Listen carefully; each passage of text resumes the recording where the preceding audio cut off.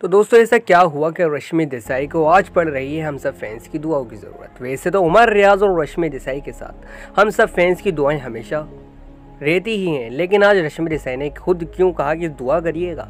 क्या हुआ है? चलिए विस्तार से बताते हैं। जैसे कि आप लोगों को पता ही है, ये शायद नहीं पता हो कि रश्मि देसाई दोबारा एक शूट पर जा रही हैं, नए अवार्ड फ़ंक्शन में जा रही हैं। जिसमें क्या नाम है कंपटीशन हो रहा है। और उसमें ज़्यादातर हम चाहते हैं कि रश्मि देसाई जीतों और इसमें ही रश्मि देसाई भी कहते हुए नज़र आई कि जाइए और अपनी सीटें बुक करिए एडवांस में, ताकि आप देख भी सकें, मुझसे मिल भी सके और हम सब में बात भी हो सके। तो हम तो यही चाहते हैं कि रश्मि देसाई जाएँ और जीत करके आएँ। इंदौर में हो रहा है। चलिए रश्मि की जुबानी सुनते हैं आज।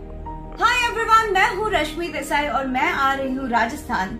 कोटा में 6 सितंबर 2020-22 जहाँ grand beauty award show season 6 national level bright and makeup competition होने जा रहा है। Hurry up to not wait any more and book your seat now and to book your seat just get in touch with